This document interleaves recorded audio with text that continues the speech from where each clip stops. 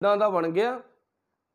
ਬਾਬੇ ਨਾਨਕ ਦੀ ਬਾਣੀ ਜਿਹੜੀ ਅੰਦਰੋਂ ਠੰਡਾ ਠਾਰ ਕਰਦੀ ਹੈ, ਇਸ ਬਾਣੀ ਦੀ ਆੜ ਵਿੱਚ 10 10 12 12 13 13 ਮੰਜ਼ਲੇ ਦੁਨੀਆ ਦੇ ਵਿੱਚ ਡੇਰੇ ਬਣ ਗਏ।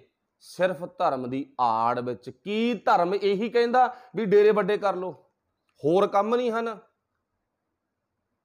ਕਿੰਨੇ ਲੋੜਵੰਦ ਪਰਿਵਾਰ ਨੇ ਜਿਨ੍ਹਾਂ ਦੀ ਅਸੀਂ ਆਪਣੇ ਤੌਰ ਤੇ ਹੈਲਪ ਕਰ ਸਕਦੇ ਆ ਅੰਦਰ ਦੀ ਅੱਗ ਬੁਝਾ ਸਕਦੇ ਆ ਉਹਨਾਂ ਨੂੰ ਚੋਰੀਆਂ, ਠੱਗੀਆਂ ਤੋਂ ਮੁਕਤ ਕਰ ਸਕਦੇ ਆ ਕਿੰਨੇ ਨੌਜਵਾਨ ਨੇ ਜਿਹੜੇ ਨਸ਼ਿਆਂ ਦੀ ਦਲਦਲ ਵਿੱਚ ਫਸ ਰਹੇ ਨੇ, ਕੀ ਇਹਨਾਂ ਬਾਬਿਆਂ ਦਾ ਜਾਂ ਸਾਡਾ ਫਰਜ਼ ਨਹੀਂ ਬਣਦਾ ਵੀ ਅਸੀਂ ਰਲ ਕੇ ਪ੍ਰਬੰਧਕ, ਬਾਬੇ ਗ੍ਰੰਥੀ ਰਾਗੀ ਢਾਡੀ ਰਲ ਕੇ ਇੱਕ ਉਪਰਾਲਾ ਕਰਨ, ਇਹਨਾਂ ਦੀ ਕਾਉਂਸਲਿੰਗ ਕੀਤੀ ਜਾਵੇ, ਇਹਨਾਂ ਨੂੰ ਨਸ਼ਿਆਂ ਤੋਂ ਰੋਕਣ ਦੇ ਲਈ ਕੋਈ ਮੁਹਿੰਮ ਚਲਾਈ ਜਾਵੇ। ਕੀ ਨਹੀਂ ਹੋ ਸਕਦਾ? ਬਹੁਤ ਕੁਝ ਹੋ ਸਕਦਾ, ਪਰ ਨਹੀਂ, ਸਾਡਾ ਧਿਆਨ ਨਹੀਂ, ਸਾਡਾ ਧਿਆਨ ਡੇਰੇ ਵੱਡੇ